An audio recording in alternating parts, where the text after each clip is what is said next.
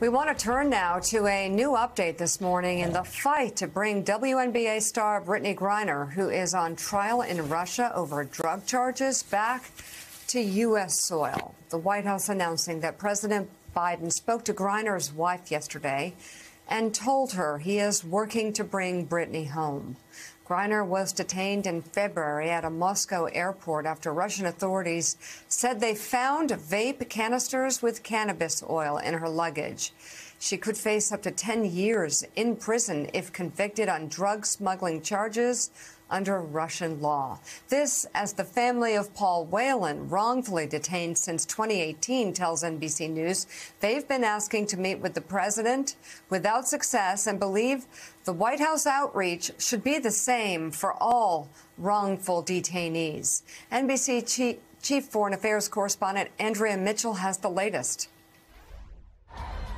Overnight, back home in Phoenix, an outpouring of support for Brittney Griner jailed in Russia for more than four months on drug charges, as her family and teammates vow to fight for her release. I honestly can't rest until she's home. I'm frustrated that 140 days have passed since my wife has been able to speak to me. Cherelle posting to Instagram, I know BG will be able to find comfort in knowing she has not been forgotten after a handwritten plea from Brittney Griner to President Biden and a letter from more than 1,100 black women leaders. The president and Vice President Harris called Griner's wife Cherelle Wednesday, promising all possible assistance to bring Brittney home. Griner's head coach, Vanessa Nygaard, hearing the news from us. Do you have any reaction to the president having called Cherelle. To know that they've read the letter and that they're going to react and respond. This is great, great news, and we hope to have more progress continue.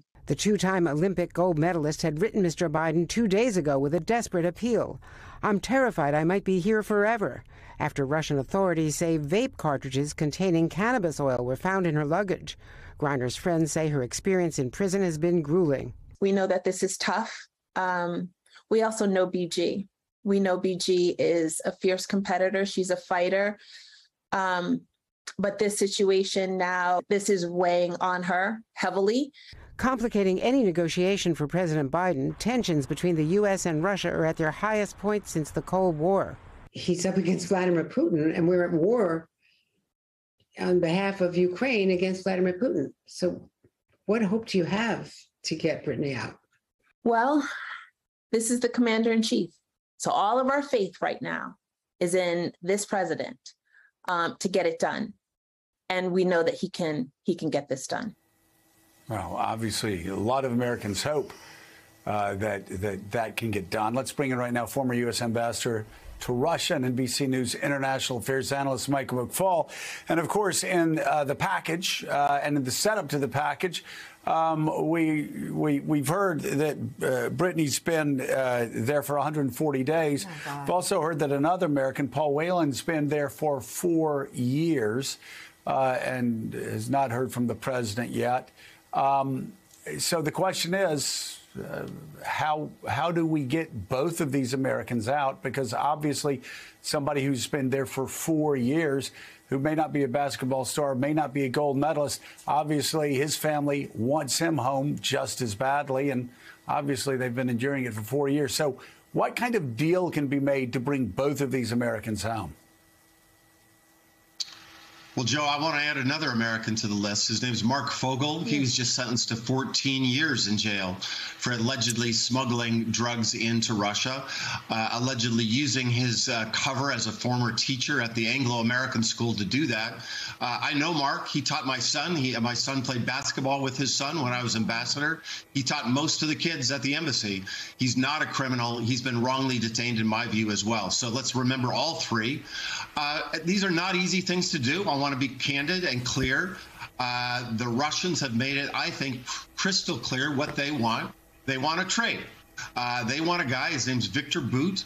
Uh, even when I was ambassador, almost a decade ago by now, uh, we were already in discussions about a trade for him.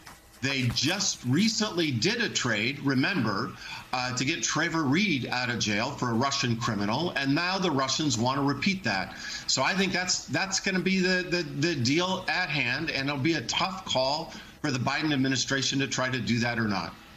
So, Ambassador Victor Bout, also known as the Merchant of Death for his widespread international uh, crimes, they're drawing an equivalence between him and Brittney Griner, who was found with some vape cartridges in her luggage at an airport in Moscow. I'm curious because you have so much experience trying to navigate these things, what it's like for someone like Brittney Griner inside a Russian prison. We know that the trials in that court usually almost always end up in conviction, but like, what's it been like for her for the last four months?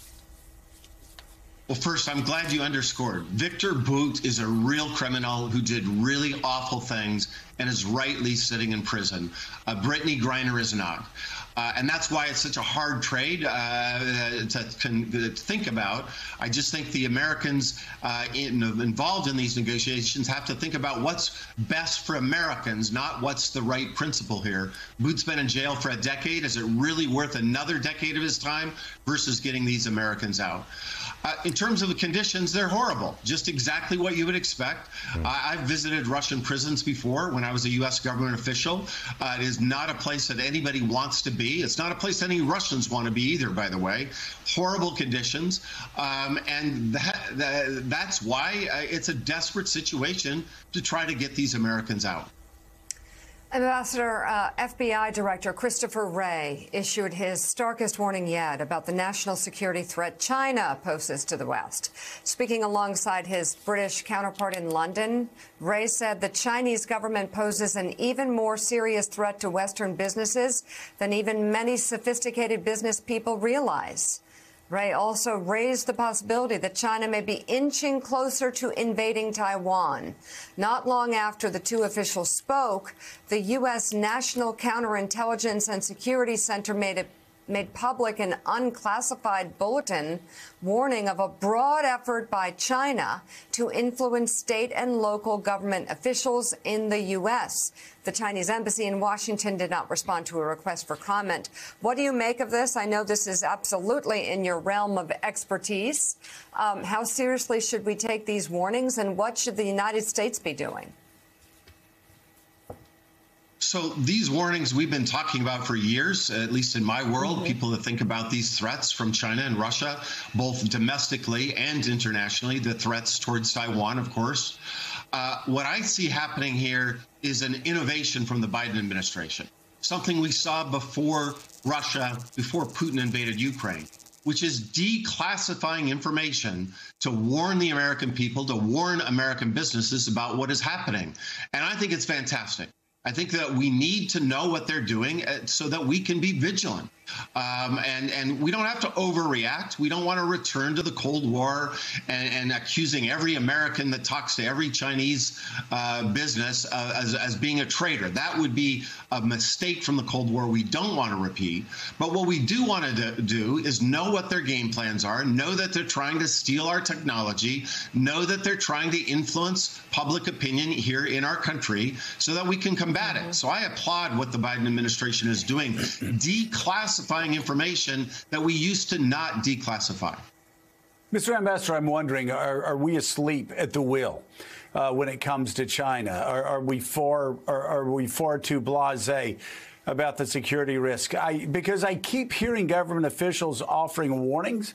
Uh, there were warnings under the Trump administration about TikTok this past week. Uh, you had the FCC commissioner uh, asking Google and Apple to remove TikTok uh, from their stores. And this is what Brendan Carr wrote. He said TikTok's not just another video app. That's the sheep's clothing.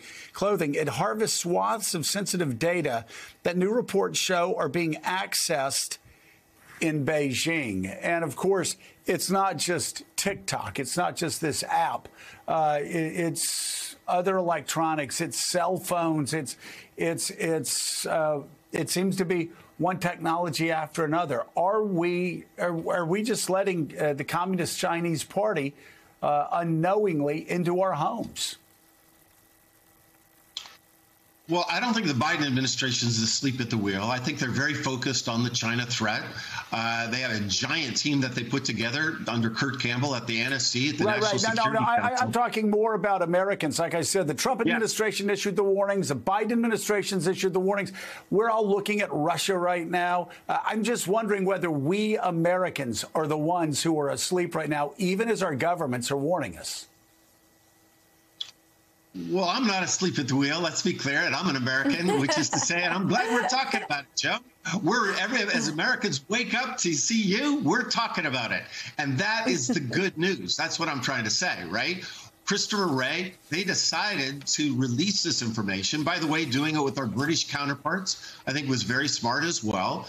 And I think Americans need more information about what the Chinese are doing. Let's do it in a democratic way, right? Let's not repress people. Let's tell them what's going on as a way for us to be more vigilant. So, good move today, and I hope there'll be many more moves like this in the future.